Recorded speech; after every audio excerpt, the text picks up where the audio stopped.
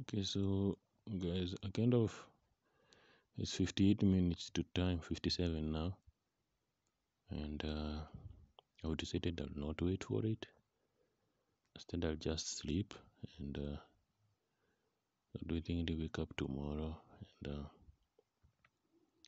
celebrate it then anyway yeah.